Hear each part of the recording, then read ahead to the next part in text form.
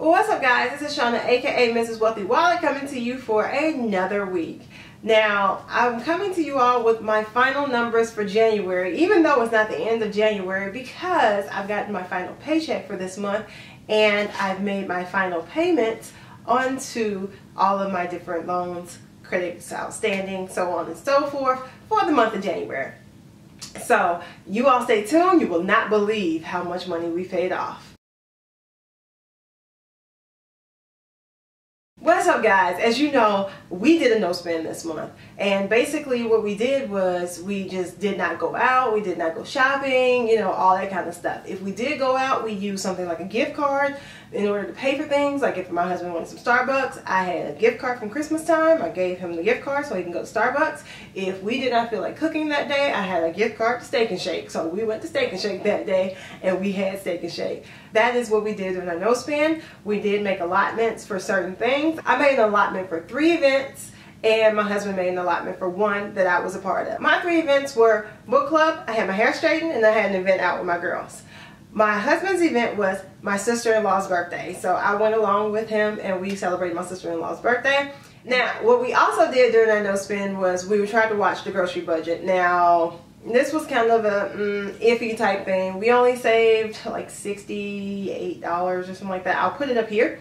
Um, total after everything because of the fact that we had some subscribe and save stuff that came in and subscribe and save is Amazon's program where they can deliver household supplies to your house and those supplies that I order they last for multiple months so I can't really call it this month but the expenses came through this month and they won't come through for another two three months because it's things like lotion or the water filter that goes into my PUR filter in the refrigerator because our water smells like chlorine. We had stuff like that come in. So I didn't have a lot of money saved as far as the grocery challenge went. Now as far as my personal account I did pretty well.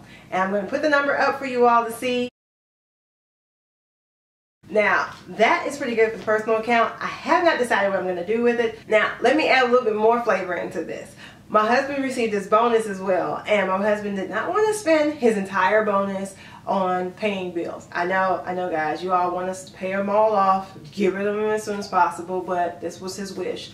And so I do have another $250 that he wanted me to have for whatever I want and I'm trying to decide what I'm going to get. I think because my work shoes are no longer effective, my winter work shoes, that I may just go ahead and get me some winter work shoes as well as um, my tennis shoes are starting to become really worn. So I think I may replace my tennis shoes. That is about it. I have an idea for my office, but I'm not sure if I want to execute on, it now or wait till we get some more money. Um, yeah, so we'll see where that goes. So with that added in, here is my new total. And that is what I am working with as far as my no spend. That is what it's led to. As far as our joint account, guys, this is where the fun comes in. Now, when we started off the year, we had Navient at $43,846.96. We had a personal loan, which is basically a car that was purchased for my stepdaughter at $5,295 even. We had an American Express bill of $3,697.48, a Chase bill of 900 $50. A Capital One venture bill of $154.39. That led to a total, guys, of $53,943.83. That is what I started off January 1 with. That's a lot of money, huh? I know it is. That is a lot of money. Got a little expensive there, guys. Um, the American Express Chase bill, is part of the repairs that we needed to have done to our sink that was leaking into our basement. The 950 is part of like uh, 1300 or $1,400. That was the actual repair for the sink replacement, fixing the garbage disposal and the lines and all the leaks and everything. So that's what that is. The rest of it was Christmas. Mine. My husband's.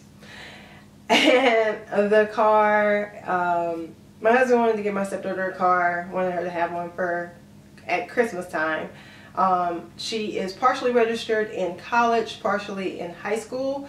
So he wanted her to have something so that she can drive to and from school.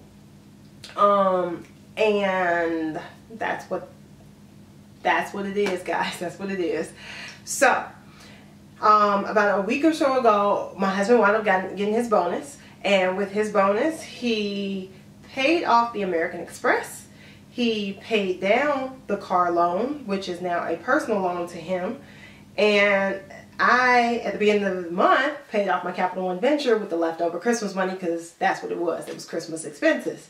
So now my Navient is $42,638.56. The personal loan is $3,038.68 and the Chase loan is $8,069 even, leaving our bill at $46,546.24, which makes the pay down total, guys. Are you ready? $7,397.59. Now this is not typical and you all know it. Like I said, there was a bonus mixed in here. So we are off to a good start. Unfortunately, we got off to a bad ending to 2017 by accumulating the debt in the first place, but we are off to a good start for this year. Now, I have created a interest calculation slash principal paydown spreadsheet for each of the loans that are left.